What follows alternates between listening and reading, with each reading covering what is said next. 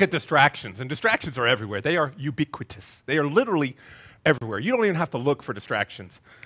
And they're just gonna always be pulling for you. So, what I'm gonna do is I'm gonna distract you. We're gonna, I'm gonna put a famous face on the screen. And if you recognize who this is, just shout out this person's name, okay? Are you with me? All right, just shout. See if you can be the first one, all right? I got a quote from this guy. Three, two, one. Who is this? Jim Carrey. How many knew that? Okay, all right, good. Jim Carrey made a quote recently that floored me. It was so good, it actually made it into this message. He says this He says, I think everybody should get rich and famous and do everything they ever dreamed of so that they can see it's not the answer. A man who has the world at his fingertips, a man who could fill any void he thinks he has with anything the world has to offer. And even he has come to the realization that they are nothing but fleeting distractions. And there it is. There it is, right there. The distractions of this world will do all they can to try to take our eyes off of our first love. And if you were the enemy, wouldn't you? Wouldn't that be your tactic? It is so genius. If we do not make a purposeful choice, an intentional choice to deny the ever growing appetites that try to destroy our walk with the Lord, it won't happen. It is not natural. You know what I'm saying? To quote the great theologians known as Slash and Axl Rose, we must avoid the appetite for destruction. It is a real thing. It is, it is everywhere. Distractions will take your attention and will take it off, and we have to be intentional. Hear me. Curbing our appetites for destruction do not, do not come naturally. Can I get an amen? amen? All you have to do to see if this is true is drive by Krispy Kreme when that hot now sign is on. It is the struggle is real. When you want to turn in so bad you can't, you're like, I can't do it. No. This just simple appetites like that. They are every welcome to the jungle, baby. Distractions are every oh, you caught that. Okay, all right.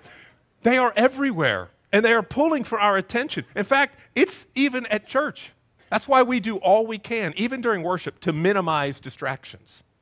That's why we put up curtains, right? So that we don't watch every single person that has to get up and go to the nursery or go to the bathroom or have an endless parade to check whatever it is they need to go to. We put up curtains for that. Or we, we put up signs and notices before church that say things like, silence your cell phone. All right, make sure y'all probably should check that right now. Make sure your cell phone's out. Or we, or we say it's not a good time to be surfing for Craigslist or eBay. This, that's not, go do that elsewhere. That's not what this is for. This isn't time for catch up on conversations. We're here to worship God and to tune out those distractions, to jettison those things. Because distractions, I promise you, are everywhere. And they take our focus off of one thing to put it on another. And that's a simple definition for distraction. One meme I saw this week as I was researching this is beautiful. It said this Beware the weapons of mass distraction. Is that not beautiful? In fact, I would add a couple to that, like Netflix, Hulu, Crackle, Sparkle, Pop, all these different things that are out there. I would add those. Now, here's the deal none of these are evil. Technology, in and of itself, is not evil. In fact, I use some of these each and every day for the church to advance the kingdom. So, hear me. This is not evil. There is no war on technology. You know what the problem is? It's me. The problem is when I allow these things to get out of their proper place. When I allow them to start creeping into and slowly crowding out the more important aspects of my life, I've fallen for the trap of the enemy. When I am at dinner with my family and I'm so disengaged from them and I'm only more concerned with this, bad man. When the first thing I reach for when I wake up isn't my Bible, but it's to see how many notifications I have. Bad man. and it is everywhere. It is so easy to fall in. In fact, let, let me show you what I mean. Just seven days ago, there was a little tiny football game. Go Eagles. Little tiny game called the Super Bowl. It's not as impressive or as fun as the national championship, Roll Tide, but it is a very important illustration because at halftime there was a little guy named Justin Timberlake that did a halftime show. And what he did about halfway through is he got off the stage and he ran up the stadium stairs and went into the crowd. He went into the crowd and stopped and just happened to make little 12 year old boy beside him, Ryan McKenna, an overnight star. And when he got there, he started singing with it. And what does this 12 year old boy do naturally? Well, you get out your cell phone and you take a selfie, right? And there's nothing wrong with that. I would have done the same thing. Well, first I probably would have Googled who is Justin Timberlake, but then I would have taken, I would have taken a selfie, right? You know what I'm talking about.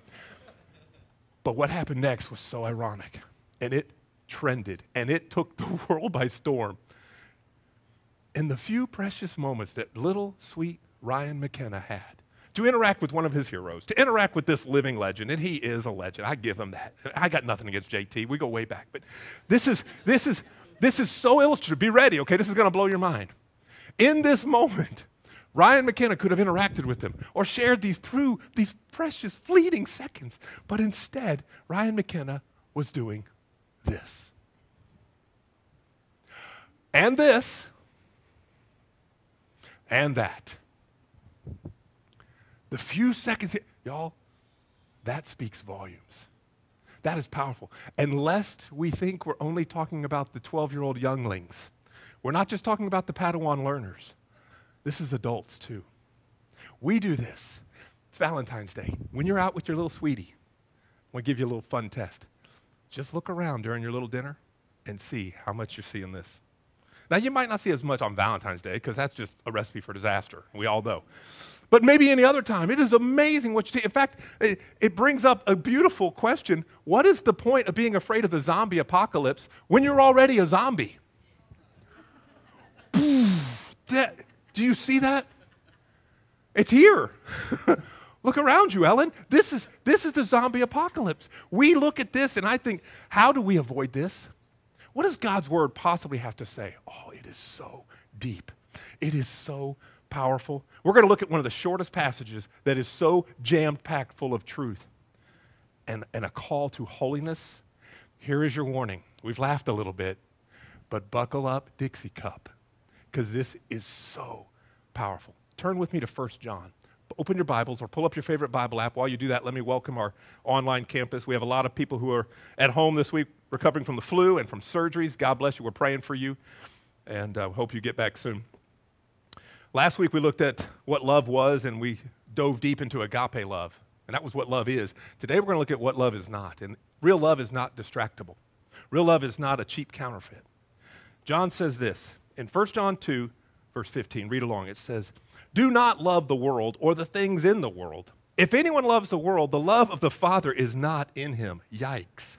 For all that is in the world, the lust of the flesh, the lust of the eyes, the pride of life, these are not of the Father, but is of the world. And the world is passing away, and the lust of it.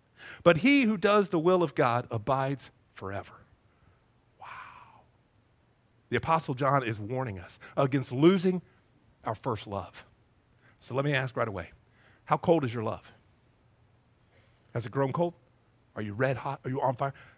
He's saying on this first love, don't fall in love with anything that is in the world that takes your eyes off the greater thing and puts it on lesser things. These don't have to be evil things. Hear me. They can even be good things, but they are distractions from the greatest thing. Does that make sense? He's talking about, look at the very first verse, verse 15. He says, Do not love the world or the things in the world. I got to be honest, the first time I read this, I was probably a teenager. And I remember thinking, well, this is weird. Because what's the first verse we are all taught in VBS and stuff? John 3:16, right? What does it say? It says, "For God so loved the the world." So I'm thinking, all right, for God so loved the world, we're supposed to love the world. God loves the world. And all of a sudden, First John says, ah, don't you love the world? and my little young skull full of mush is, is short circuiting. It doesn't quite get it. I'm like, well, I'm supposed to love the world, but yet God di- died for it. And yet John said, Don't you love the world? There's something. So therefore, we have to. What in the world does the word world mean? Right? Say that three times fast. What does this world has different meanings in Scripture? In fact, there's three of them John highlights right here. I want to look at this because this is so cool. In the Bible, the word world is used to describe three different things. In the broadest sense, it means this the world of creation. You see this all over. You see it in Acts. You see it, this is talking about the stars, the cosmos, the planets, things like that, okay? That's the world of creation. It's not what John's talking about here. Then there's another time it's used. It can refer to the world of humanity. And this is that time what we just talked about, John 3:16. This is the humankind. For God so loved you, and God so loved I. You and I type thing, okay? Humanity. But then there's something else the Bible refers to when it says world, and that is what we're talking about. It is the world system. The world system here, which, make no mistake, aligns itself with Satan and tries to oppose everything Christ stands for. And that's what John is warning us about. This evil world system that tries to hamper and destroy our fellowship with the Father. You don't hear this preached much in America because we have so much affluence and so many good things going on, and we're so fat, happy, and content that we think of the world as great and things are fine. But he goes on in verse 15 to clarify. He says, If anyone loves the world, the love of the Father is not in him. And if that's not strong enough, go on and read in James and Romans where it says that loving the world is actually a sign, quite possibly, that the love of the Father has never been in you. Y'all, that's frightening. That is, this message is so needed, not just then, but 2,000 years later, today, don't fall in love with the fleeting pleasures of the world at the expense of your first love. If I could sum up everything what John's trying to say here, this world and all the distracting, shiny trinkets and baubles and bangles and look over here and jazz hands and things. Not really sure what jazz hands has to do with this, but I love doing this. It's just like, like look over here, right? Right? No, no. Don't pay attention to this. Look over here. Distractions, flashing neon signs. Verse 16, John goes on to say even something else. He explains how the world system operates using three very specific behaviors. Three behaviors that, let's be honest, if you want to be a mature dis- disciple, you got to knock these out. These are the three behaviors that we are supposed to avoid and keep in check at all times, at all costs. So before we read them, let me ask, how you doing with these? Because this is powerful because John uses a word we don't like. It's the L word. It's not love, it's lusts. What is that? Well, if you're a little fuzzy on what lust is, you can break it down and boil it down to its essence. And it simply means this lust is a desire or an inward temptation, or, don't miss this, simply wanting one's own way. Kind of reminds me of Lucifer in the beginning. I could be like God. I could sit on the throne on high I could, I could do, I, I want to be like him. And all he wanted was his own way to start with. And it is so slippery, the slope that we go down. And the first one he mentioned specifically is the lust of the flesh. Oh, doesn't it just sound like, oh, like we just like need to take a shower after saying it? The lust of the flesh. These are our appetites. Now, immediately when we see this, we think we hear the word lust of the flesh, and almost all of us have one particular sin in mind, right? You know what I'm talking about. And, and that is absolutely in this warning, the sexual things. But that, we're doing a huge disservice, church, if we limit just this to just that. Because there are other appetites that come, things that are not bad in and of themselves, but they get out of control. We do ourselves a disservice if we think about this is all God is warning us about. It is not just about the sexual things. God made us with other needs like food and water and shelter and comfort. And what happens? The devil comes along and exploits these against us and it is so slippery. For instance, we all need food. There's nothing wrong with food. It was created for us to be used to sustain us, to nurse. There's nothing wrong with that. But what happens is it can get out of control and we overeat. And we begin to cause ourselves our own problems and health concerns. Some of us may drink too much. Others may engage in behaviors that soon become addictions. And then they dominate us. That's what John is talking about. Things that were once simply meant to sustain us now become our master. And that is a powerful difference. Understand John's warning here. This can happen to anyone. Let me show you how this can happen to anyone. Just last week, I'm in my office with my beautiful, innocent, precious little Mercy Hope, little Mercy Mercy, and I'm sitting here feeding her. We're having a great time. How could this possibly ever give in to the lust of the flesh? Let me show you.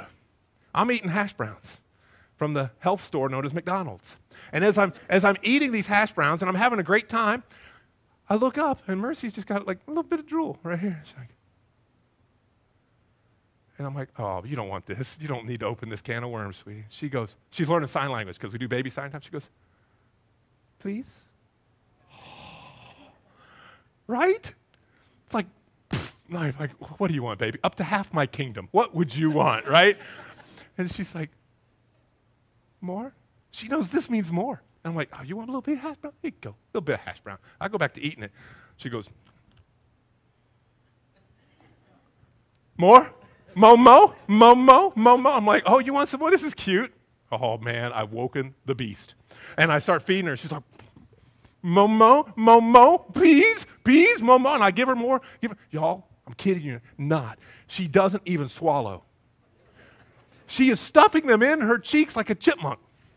It's like, mm, and I'm looking at her, I'm almost laughing because it's funny for now.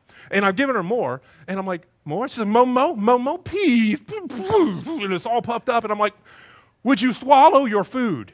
You have enough. Oh, this is deep. You have sufficient amount, sweetie. You have, would you just swallow your food? You are about to choke. I look at Amy, I'm like, what is wrong with your daughter? What, what is her malfunction? Look at this. She's all puffed up like a chipmunk. I want more and more. And I'm like, that's it. I didn't have to teach her that. We all, we got to hold our appetites in check.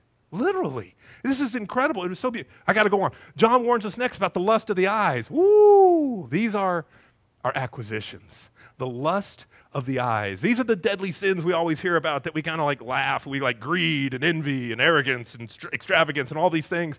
Now, we live in a materialistic age, and it is so easy for us to make a quick purchase, swipe, click, and have it delivered to our doorstep sometimes. Maybe even with a drone now. Anything we want, we have the power to purchase it, right? You got the money, you got the time, boom, it is right there. Everything is at your fingertips. It is harder now to deny the encroaching lust of the eyes than ever. There are so many things that try to pull at us. Now remember, possessions are temporary, okay? Hold them loosely. One of the most powerful things that Pastor Steve taught me, probably 15 years ago, hold things loosely allow them, allow God to give them and allow Him to pass them on. And it resonated with me. Now, hear me. Suffices to say, it is not necessarily wrong to have things. It is not necessarily wrong to have things. It's wrong when the things have you. And there is such a huge difference here.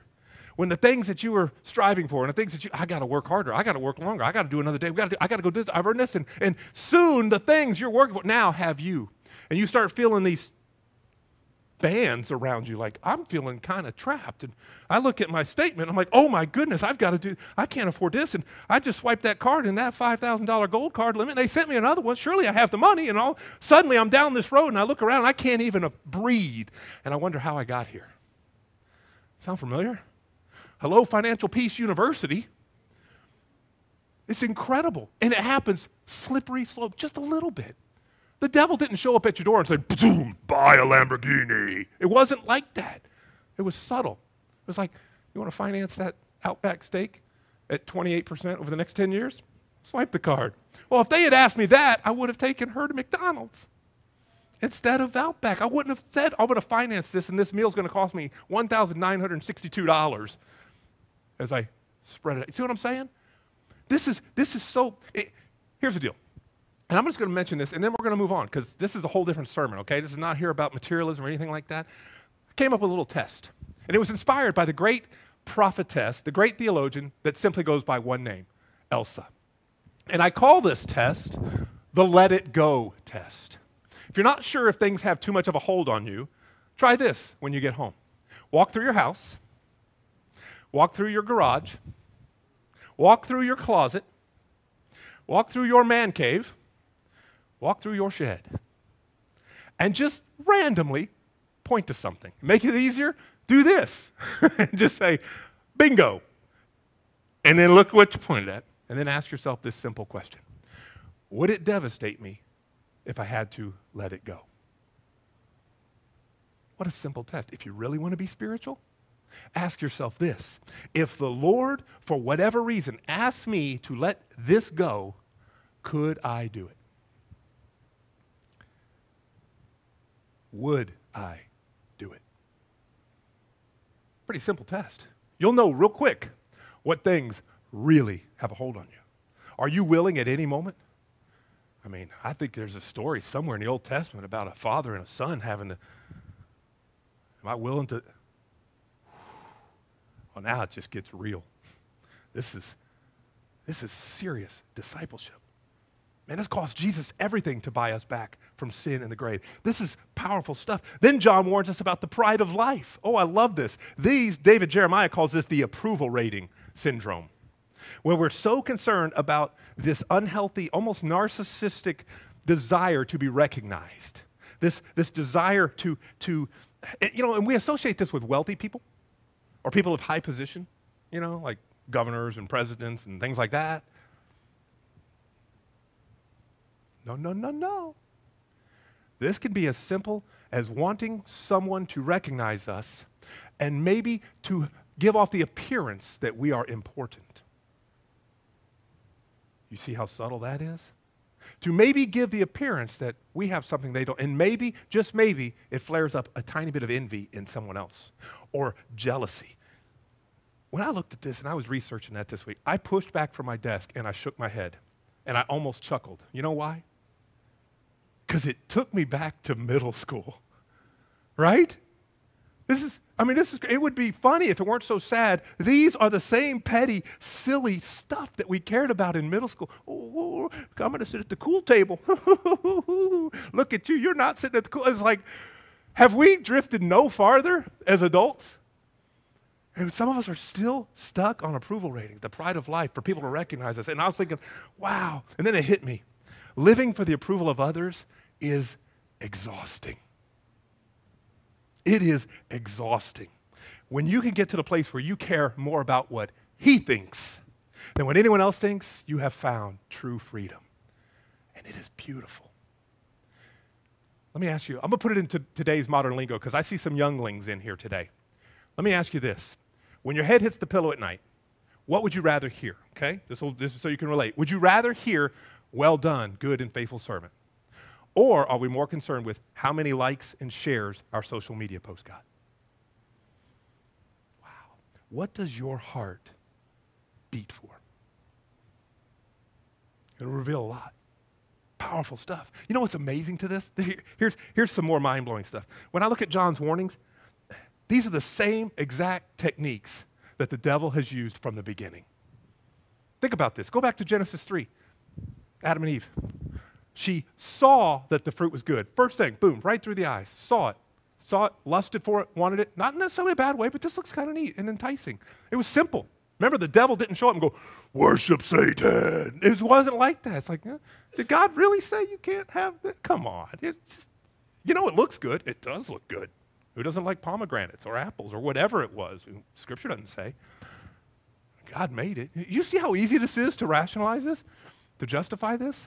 This is, this is incredible. And then fast forward 4,000 years, the devil shows up to Jesus himself, the Son of God, in Luke 4, and he starts offering all these temptations. It's the same ones. The lust of the eyes, the lust of the flesh, the pride of life, bow down. All this will be yours. It's his anyway, but the devil's still throwing it out like a temptation.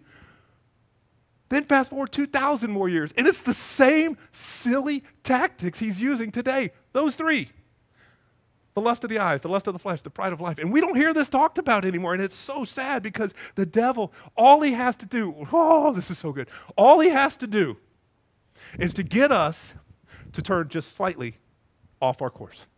It doesn't have to be a 180 degree turn for him to have a victory. When I learned this this week, this, this was this was mine. Think about this. If I'm heading towards that door where that exit sign is, and I'm heading, and he gets me distracted just slightly there, and I walk over here by Nathan, if I keep going, at the end of the day, I am a mile off course. No longer am I at the door, and then all of a sudden I look around and I say, What happened? How did I get here?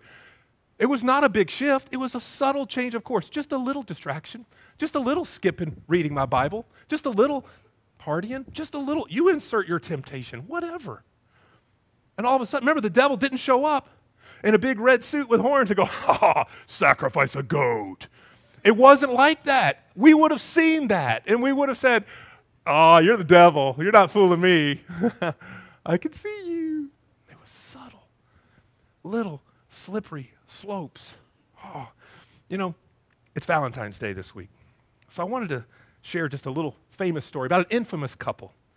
a couple that we should not emulate. But it's a famous couple nonetheless, simply known as Samson and Delilah. I wanted to give you a little romance story to send you on your week. Y'all know the story. Oh, Delilah. Oh, Delilah.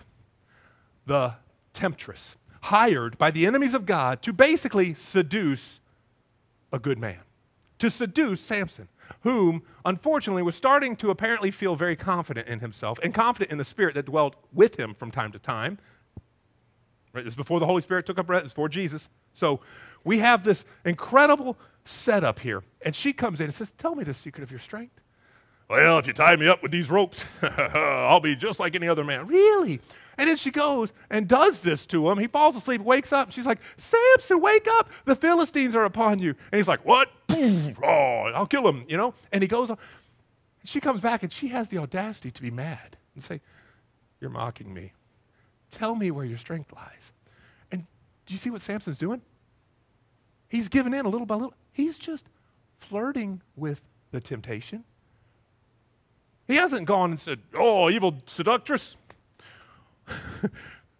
he hasn't said anything like that. He is, he, he is just going a step at a time. Chad Ashby, he's a pastor who, who talked about this. He likened it to a fisherman, fisherman thing. I love this. This is, this is a, a fish I caught the other day. This is a, this is a uh, dolphin. And, all right, it's a lure. I know this much. And he said, what happens is there's this little bit of bait on the hook. And it's almost like Delilah throws it out and reels in Samson. And Samson sees it and he's like, oh, this looks fun and cuddly. Cute little fish with giant hooks. And he bites on it and he doesn't even realize the sharp stick of the hook is in him.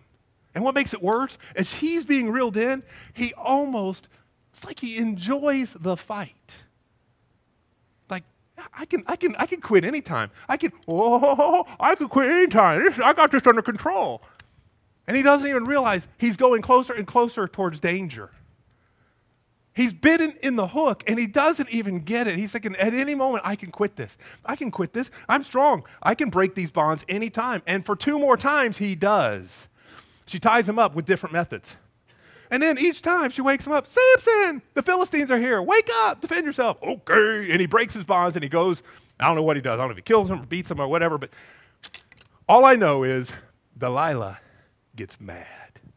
And she goes for the death blow on this next one. And she goes for his heart. Read what happens next. She says, How can you say I love you when your heart isn't with me? You have mocked me these three times, and you've not told me where your great strength lies. And when she pressed him hard with her words day after day and urged him, his soul was vexed to death. Dramatic much? This is this is a. Woman, if you keep begging, you just say, My soul is vexed to death. This was wearing him down. And guess what he does? And he told her all his heart. Let's be honest. In this moment, do you think Samson woke up and said, Today is a great day to betray my Nazarite vow to the Lord. I will confess all to a Philistine temptress who doesn't even love me, who's using me, and I will cash in everything I ever loved. There's no way. And neither would you. And neither would I. But this is exactly what we do when we go step by step towards a distraction that is not good for us. Do you see the warnings? Do you see why John says the lust of the eyes, the lust of the flesh? Man, don't give in to the pride of life. So we have a lesson. Samson had multiple times to turn back. At any moment, he could have renounced Delilah. He could have rebuked sin. He could have returned to the Lord. But he didn't. He chose to ignore every warning sign. When she said, Now tell me, if you love me, you'll do it. And you know what he does? And the warning signs are going off and the sirens are blaring. He does this La, la, la, la, la, la. I can't hear it. All I see is that pretty girl. Me likey. Uh, he didn't say that, but that's modern. And he goes headlong down it, and he's just talking to himself. What? I can quit anytime. I'm strong. I'm Samson. Come on. I can break those bonds. And then one time, it doesn't happen the way he thinks. Samson tells Delilah all about his Nazarite vow, confesses about his uncut hair and where his strength comes, and then he lays down to sleep one more time in the den of a dragon, in the lap of danger and sin and destruction, and he doesn't even have a clue how close to danger he is. Read what happens next. She does, she says, The Philistines are upon you, Samson. And he awoke from his sleep and he says, Hey, no problem. I'll go out just like every other time and shake myself free. But he did not know that the Lord had left him. Wow. Chad Ashby, he calls this possibly the saddest verse in all the Bible. That last part. But he didn't know that the Lord had left him until it was too late. He goes, something. He had, so seared his conscience. He had so flirted with temptation and taken that spirit for granted that he was blinded. And he wakes up, he couldn't even see that the Lord was nowhere to be found. Y'all, that is terrifying to me. What a tragic warning. The consequences of sin are brutal. You know what happens next? He gets captured, becomes a slave. They put him in Gaza, makes him do all kinds of hard labor, and then they gouge out his eyes. What? They gouge out his eyes. This is crazy because sin has consequences. This is such a powerful, God's warnings will have to get louder and clearer. And you want to know what the most tragic irony of this whole story is? Think about this. When, when Samson was blinded, he finally saw most clearly. How sad is it? It took him being blinded for him to finally see clear again. When he could no longer see and have those lust of the eyes and lust of the flesh for Delilah. When that was removed, only then could he return back to the Lord. And we know how the story ends with a happy ending. He grows his hair again and everything's great and he goes and he becomes a successful judge. oh, wait, that's not him. He dies with one last sacrifice. Takes a lot of bad guys with him. It is a horribly tragic reminder. God has given us guardrails, church. He has given us disciplines. And these warnings from First John to say, don't look to the left or the right. You stay on the straight and narrow. You are called to be a special people. You are called to walk in holiness. Wow, how you doing with that? You are now going to be my ambassadors to a lost and dying world. Gulp. Me? You? Yeah. That's what the church does. This is incredible. He tries to save us from our own destruction and death. God's discipline is not pleasant, but it's right. And he, as he shows us here, in fact, a, if I can leave you with this encouraging verse in Hebrews 3.13, it says this, Brothers and sisters, encourage one another daily, as long as you have today, so that none of you may be hardened by the sin deceitfulness. That is so good and so powerful. Let us encourage one another and say, man, don't give in. Hey, I think your heart's getting hardened to this. Or, man, hey, brother, you may have a blind spot about this. Do you realize how close you're getting to the danger? You are tiptoeing right up to the edge. I just wanted to pull you back. Just privately. I didn't even know if you were aware. I kind of hope you were, but if not, one brother to another, can I help you out? Wow. You don't think this is powerful? In the jungles of Africa, hunters have devised the most genius and devious way to trap monkeys. It is so simple and it works almost every time. And guess what? Not a shot is fired, no blood is shed. What they do is they take a coconut, which a monkey likes, they cut it in half, and inside this hollowed out coconut, they put an orange. They peel just a little bit of the orange and squeeze some of that beautiful citrus scent all over it, and then they fasten the shells back together. And they take and they cut a little hole in the end of the coconut, just barely big enough for the empty hand of the monkey to slide in and grab the orange. And they take that coconut and they tie it back up to the tree. And then the hunters do this. They retreat back into the shadows of the jungle and they wait because the trap is set. In fact, it's already a sure thing. That monkey, so innocent, not looking to die, swings around, goes, Whoa, I smell an orange. What's that? And he comes over and he looks inside that tiny hole and he sees what he wants and his mouth waters. He says, That looks good to me. And he thrusts his hand inside and he grabs the orange, and it is every bit as delicious as he thought it was going to be. He could smell it, he squeezes it, and then he tries to pull it out, and he can't. Because that orange, with that fist wrapped around it, will never fit through that tiny hole. And that is the point. And he frantically pulls against it, at any moment, he could let go, but he doesn't. He wants that so bad. Now he has fallen prey. And he's pulling and he's pulling. And as he's yanking hard on, the, trying to get this to come and be his, very quietly, the hunters, without him even knowing it, are sneaking up behind him with a net. And they drop it over him, and it's done. How tragic for that monkey who is looking at something that, in and of itself, is not a bad thing. Pastor Matt is not anti orange. But the orange was used to get him distracted, and he never saw the enemy coming up behind him. Wow. And the devil does that today. How tragic. This poor monkey could have saved his own life if he had just let go of that temptation, of that simple, innocent thing. But he didn't. He didn't realize that he can't have that and freedom. Oh, church, that'll preach. He didn't realize it, and it was right there. That delicious orange now became a deadly distraction. So let me ask you this What distraction are you holding on to? What temptation is it that you need to let go of today? What addiction has gotten its arms wrapped around you and you need to let it go? Let's do it today. Let me pray with you. God, I thank you for your presence in this place. Lord, I am asking that you would break addictions, that you would break struggles and tear down strongholds of the enemy.